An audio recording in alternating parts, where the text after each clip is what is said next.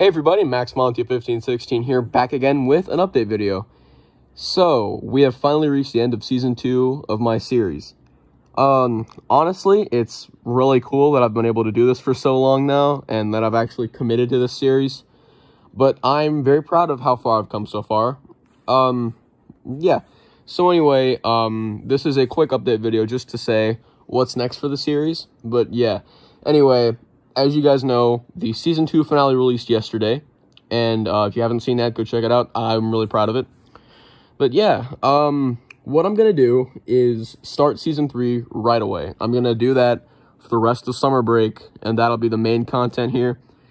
Um, season three will probably last into the beginning of the school year, and I'll probably continue season three, and I assume that'll take me probably around Christmas break, maybe Thanksgiving break.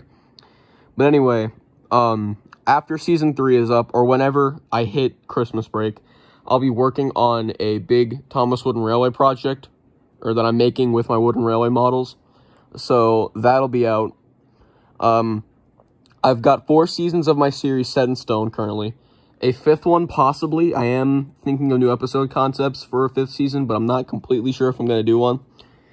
So yeah, you'll you guys will just have to wait for that. But um, yeah, now that season two is over, in the near future, you guys can expect to see season three. I'm actually starting on season three's production here in a couple days.